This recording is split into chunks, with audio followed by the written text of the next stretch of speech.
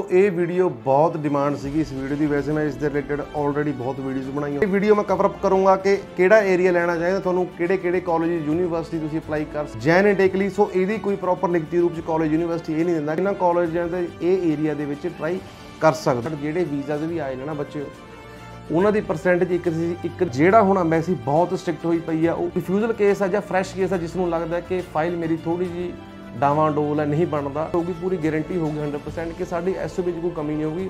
ਕੀ trend ਚੱਲ ਰਿਹਾ ਹੈ? ਇਸ ਵੀਡੀਓ ਨੂੰ ਸ਼ੁਰੂ ਤੋਂ ਲੈ ਕੇ ਐਂਡ ਤੱਕ ਦੇਖਿਓ ਔਰ ਉਹਨਾਂ ਬੱਚਿਆਂ ਨੂੰ ਜ਼ਰੂਰ ਸ਼ੇਅਰ ਕਰਿਓ ਸਟੂਡੈਂਟਸ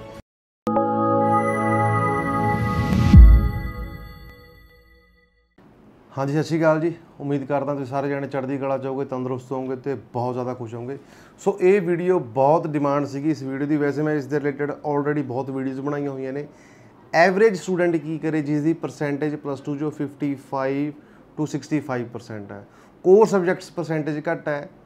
ਓਵਰਆਲ ਪਰਸੈਂਟੇਜ ਜਿਹੜੀ ਹੈ, ਘੱਟ ਤੋਂ ਘੱਟ 55 ਮੈਕਸਿਮਮ 65 ਹੈ। ਵੈਸੇ 55 ਬਹੁਤ ਘੱਟ ਪਰਸੈਂਟੇਜ ਹੈ। ਉੱਥੇ ਅਗਰ ਤੁਹਾਡੇ ਕਿਸੇ ਵੀ ਕੋਰਸ ਸਬਜੈਕਟਸ ਦੀ ਪਰਸੈਂਟੇਜ ਅੱਛੀ ਹੈ, ਤਾਂ ਉਹ ਤੁਸੀਂ ਫਾਈਲ ਜਿਹੜੀ ਕੀ ਹੈ, ਉਸ ਰਿਲੇਟਡ ਕੋਰਸ ਲੈ ਸਕਦੇ ਹੋ। ਬਹੁਤ ਵੀਡੀਓਜ਼ ਬਣਾਈਆਂ ਹੋਈਆਂ ਨੇ ਔਰ ਰੈਲੇਵੈਂਟ ਕੋਰਸ ਵੀ ਬਣਾਈ ਹੋਈ ਹੈ। ਸੋ ਇਹ ਵੀਡੀਓ ਮੈਂ ਕਵਰ ਅਪ ਕਰੂੰਗਾ ਕਿ ਕਿਹੜਾ ਏਰੀਆ ਲੈਣਾ ਚਾਹੀਦਾ, ਤੁਹਾਨੂੰ ਕਿਹੜੇ ਕਿਹੜੇ ਕਾਲਜ ਯੂਨੀਵਰਸਿਟੀ ਤੁਸੀਂ ਅਪਲਾਈ ਕਰ ਸਕਦੇ ਹੋ। ਔਰ ਆਈਆਰਸੀਸੀ ਫਾਈਲ ਪਿਕਅਪ ਕਰ ਰਹੀ ਹੈ ਲੋ ਸਕੋਰ ਦੀ ਕੀ ਟ੍ਰੈਂਡ ਚੱਲ ਰਿਹਾ ਹੈ, ਇਸ ਵੀਰ- ਵੀਡੀਓ ਨੂੰ ਸ਼ੁਰੂ ਤੋਂ ਲੈ ਕੇ ਐਂਡ ਤੱਕ ਦੇਖਿਓ ਔਰ ਉਹਨਾਂ ਬੱਚਿਆਂ ਨੂੰ ਜ਼ਰੂਰ ਸ਼ੇਅਰ ਕਰਿਓ ਸਟੂਡੈਂਟਸ ਸੋ ਜਿਨ੍ਹਾਂ ਦੀ ਪਰਸੈਂਟੇਜ ਘੱਟ ਹੈ, ਕਿਉਂਕਿ ਬਹੁਤ ਬੱਚਿਆਂ ਨੇ ਇਹ ਪੁੱਛਿਆ ਹੋਇਆ ਕਿ ਸਰ ਐਵਰੇਜ ਸਟੂਡੈਂਟ ਦੀ ਵੀਡੀਓ ਬਣਾਓ।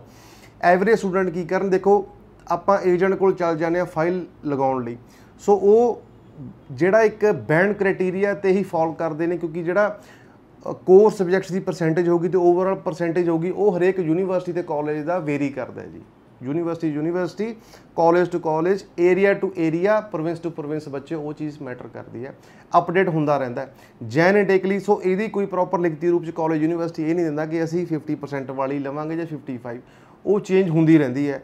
ਸੋ ਉਹ ਚੀਜ਼ ਉਦੋਂ ਤੁਹਾਨੂੰ ਫਾਇਦੇਮੰਦ ਹੋ ਸਕਦੀ ਹੈ ਅਗਰ ਏਜੰਟ ਬਹੁਤ ਡੀਪਲੀ ਉਹ ਚੀਜ਼ਾਂ ਨੂੰ ਸਮਝੇ। ਸੋ ਕਿਉਂਕਿ ਕਈ ਵਾਰ ਤੁਹਾਡੇ ਨਾਲ ਇਹ ਚੀਜ਼ ਹੁੰਦੀ ਹੋਣਗੇ ਤੁਸੀਂ ਸੋਚੋ ਜਾਂ ਤੁਸੀਂ ਸੁਣੀ ਹੋਣੀ ਕਿਤੇ ਵੀ ਯਾਰ ਇੱਕ ਤੋਂ 2 ਮਹੀਨੇ ਹੋ ਗਏ ਯਾਰ ਆਫਰ ਲੈਟਰ ਨਹੀਂ ਸਾਡਾ ਆ ਰਿਹਾ ਕਿਉਂਕਿ ਕਾਲਜ ਤੇ ਯੂਨੀਵਰਸਿਟੀ ਜਿੱਥੇ ਤੁਸੀਂ ਅਪਲਾਈ ਕਰ ਰਹੇ ਹੋ, ਤੁਹਾਨੂੰ ਲੱਗ ਰਿਹਾ ਕਿ ਲੋ ਬੈਂਡ ਸਕੋਰ ਕਰਕੇ ਜਾਂ ਲੋ ਪਰਸੈਂਟੇਜ ਦੀ ਵੀਡੀਓ ਬਣਾਈ ਆਪਾਂ ਇਸ ਦੀ ਗੱਲ ਕਰੀਏ ਬੈਂਡ ਸਕੋਰ ਤੁਹਾਡਾ ਆਈਐਲਟਸ 60 e ਚ ਜਾਂ ਪੀਟੀ ਦਾ ਸਕੋਰ ਤੁਹਾਡਾ ਅੱਛਾ ਹੋਣਾ ਚਾਹੀਦਾ 58 ਲਗਾ ਲਓ। ਕੋਰਸ ਸਬਜੈਕਟਸ ਬਾਰੇ ਇਹੀ ਗੱਲ ਕਰਾਂਗੇ। ਆਇਲਸ ਨੂੰ ਲੈ ਕੇ ਮੈਂ ਨੈਕਸਟ ਵੀਡੀਓ 'ਚ ਗੱਲ ਕਰੂੰਗਾ ਰਾਈਟ ਔਰ ਇੱਕ ਨਾਨ ਐਸਡੀਐਸ ਵੀ, ਉਹ ਵੀ ਵੀਡੀਓ ਦੇਖਿਓ, ਬਹੁਤ ਨੌਲੇਜ ਮਿਲੂਗੀ ਤੁਹਾਨੂੰ ਉਸ ਨੂੰ ਔਰ ਸ਼ੇਅਰ ਜ਼ਰੂਰ ਕਰਿਓ। ਬਹੁਤ ਬੱਚਿਆਂ ਨੇ ਡਿਮਾਂਡ ਸੀਗੀ, ਹੁਣ ਮੈਨੂੰ ਇਹ ਨਹੀਂ ਪਤਾ ਕਿ ਉਹਨਾਂ ਤੱਕ ਵੀਡੀਓ ਪਹੁੰਚੂਗੀ ਜਾਂ ਨਹੀਂ ਪਹੁੰਚੂ- ਪਹੁੰਚੂਗੀ, ਕਿਉਂਕਿ ਏਜੰਟ ਨੂੰ ਪਤਾ ਨਹੀਂ ਹੁੰਦਾ ਕਿ ਇਹ ਕਾਲਜ ਹੁਣ 55 ਲੈ ਰਹੇ ਆ ਜਾਂ 60 ਲੈ ਰਹੇ ਆ, ਕਿਉਂਕਿ ਉਹ 55 ਤੋਂ 60 ਲੈ ਲੈ ਲੈਂਦੇ ਨੇ, ਕਈ ਵਾਰ 60 ਜਗ੍ਹਾ ਤੇ 65 ਲੈ ਲੈਂਦੇ ਨੇ। ਹੁਣ ਆਪਸ਼ਨਸ ਕਿਹੜੀਆਂ ਕਿਹੜੀਆਂ ਨੇ? ਆਪਸ਼ਨ ਸਟੂਡੈਂਟਸ ਤੁਸੀਂ ਆਊਟਰ ਏਰੀਆ ਚੂਜ਼ ਕਰ ਸਕਦੇ ਹੋ ਮੇਨ ਏਰੀਆ ਚੂਜ਼ ਚੂਜ਼ ਕਰ ਸਕਦੇ ਹੋ ਕਾਲਜ ਜਾਂ ਯੂਨੀਵਰਸਿਟੀ ਦੇ ਜਿੱਥੇ ਤੁਹਾਡਾ ਸਕਸੈਸ ਰੇਟ ਹੈਗਾ, ਜਿਹੜਾ ਕਾਲਜ ਯੂਨੀਵਰਸਿਟੀ ਐਕਸੈਪਟ ਕਰਦਾ ਹੈ। ਏਜੰਟ ਨੂੰ ਨੌਲੇਜ ਹੋਣੀ ਚਾਹੀਦੀ ਹੈ। ਇੱਕ ਚੀਜ਼ ਹੋਰ ਮੇਨ ਚੀਜ਼ ਮੈਂ ਵੀਡੀਓ ਦੇ ਐਂਡ ਤੇ ਦੱਸੂਗਾ। ਸਸਕੈਚਵਨ ਸਾਈਡ ਜਾ ਸਕਦੇ ਹੋ ਨੋਵਾ ਸਕੋਸ਼ੀਆ ਸਾਈਡ ਜਾ ਸਕਦੇ ਹੋ। ਐਡਮਿੰਟਨ ਸਾਈਡ ਵੀ ਕੁਝ ਕਾਲਜਸ ਤੇ ਯੂਨੀਵਰਸਿਟੀਜ਼ ਨੇ ਬੱਚੇ, ਜਿੱਥੇ ਤੁਸੀਂ ਅਪਲਾਈ ਕਰ ਸਕਦੇ ਹੋ।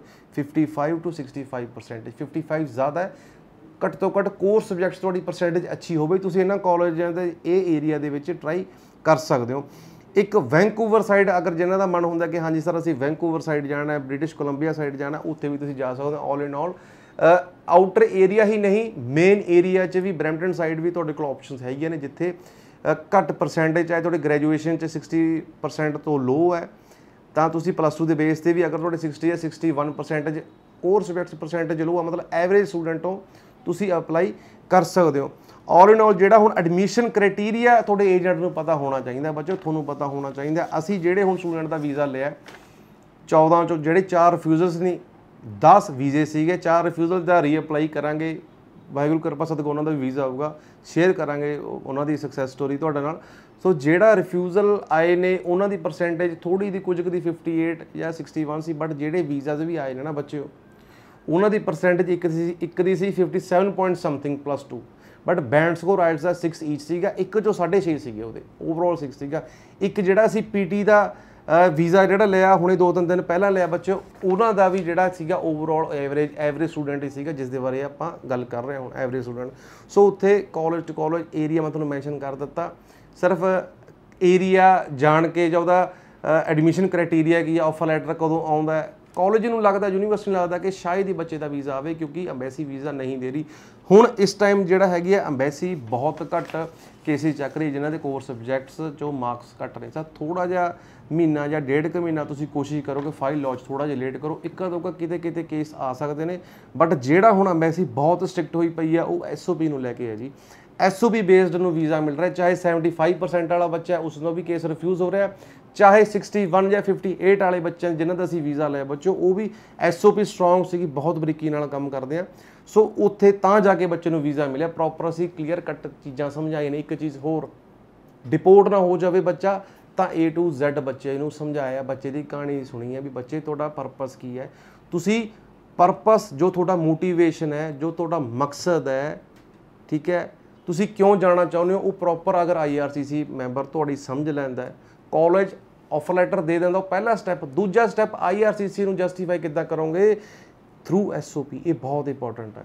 ਸੋ ਇੱਥੇ ਅਗਰ ਜਿਹੜੇ ਵੀ ਸਟੂਡੈਂਟਸ ਇੱਥੇ ਅਪਲਾਈ ਕਰਨਾ ਚਾਹੁੰਦੇ ਨੇ, ਇਹਨਾਂ ਏਰੀਆ ਦੇ ਵਿੱਚ ਅਪਲਾਈ ਕਰ ਸਕਦੇ ਨੇ। ਔਰ SOP ਦੇ ਰਿਲੇਟਡ ਕਿਸੇ ਵੀ ਸਟੂਡੈਂਟ ਨੂੰ ਅਗਰ ਕੋਈ ਵੀ ਕਨਫਿਊਜ਼ਨ ਹੋਵੇ ਸਾਡੇ ਤੋਂ ਐਸਓਪੀ ਬਣਾਉਣੀ ਚਾਹੁੰਦੇ ਹੋ ਤਾਂ ਐਸਓਪੀ ਬੱਚੇ ਮੈਂ ਖੁਦ ਲਿਖਦਾ, ਮੇਰੀ ਇੱਥੇ ਟੀਮ ਰਹਿੰਦੀ ਹੈ, ਜਿੱਥੇ ਮੈਂ ਖੁਦ ਆਪਣੇ ਆਪ ਧਿਆਨ ਨਾਲ 3 ਤੋਂ 4 ਦਿਨ ਲੱਗਦੇ ਨੇ ਸਾਨੂੰ, ਕਿਉਂਕਿ ਅਸੀਂ ਕਾਪੀ ਪੇਸਟ ਵਾਲਾ ਕੰਮ ਹੈ ਨਹੀਂ। ਬਹੁਤ ਐਸਓਪੀਜ਼ ਇਕੱਠੀਆਂ ਹੋ ਰਹੀਆਂ ਨੇ ਬਟ ਅਗਰ ਕੋਈ ਰਿਫਿਊਜ਼ਲ ਕੇਸ ਹੈ ਜਾਂ ਫਰੈਸ਼ ਕੇਸ ਹੈ ਜਿਸ ਨੂੰ ਲੱਗਦਾ ਕਿ ਫਾਈਲ ਮੇਰੀ ਥੋੜੀ ਜੀ ਡਾਵਾਂ ਡੋਲ ਹੈ, ਨਹੀਂ ਬਣਦਾ, ਸੋ ਸਾਡੇ ਵੱਲੋਂ ਪੂਰੀ ਉਸ ਚੀਜ਼ ਦੀ ਅਥਾਰਟੀ ਹੋਊਗੀ, ਪੂਰੀ ਗਾਰੰਟੀ ਹੋਊਗੀ 100% ਕਿ ਸਾਡੀ ਐਸਓਪੀ 'ਚ ਕੋਈ ਕਮੀ ਨਹੀਂ ਹੋਊਗੀ। ਐਸਓਪੀ ਅਸੀਂ ਪੂਰੀ ਸਟਰੋਂਗ ਕਰਕੇ ਕਰਾਂਗੇ, ਤਾਂ ਕਿ ਜਿਹੜਾ ਆਈਆਰਸੀਸੀ ਜਿਹੜਾ ਤੁਹਾਨੂੰ ਹੈ ਵੀਜ਼ਾ ਦੇ ਸਕੇ। ਸੋ ਐਸਓਪੀ ਲਈ ਨੀਚੇ ਦਿੱਤੇ ਨੰਬਰਾਂ ਤੇ ਤੁਸੀਂ ਕਾਲ ਕਰ ਸਕਦੇ ਹੋ। ਸੋ ਹੋਰ ਮਿਲਦੇ ਆ ਨੈਕਸਟ ਵੀਡੀਓ ਚ ਨੌਨ ਐਸਡੀਐਸ ਦੀ ਵੀਡੀਓ ਚ। Till then take care goodbye ਰੱਬ ਰੱਖਾ।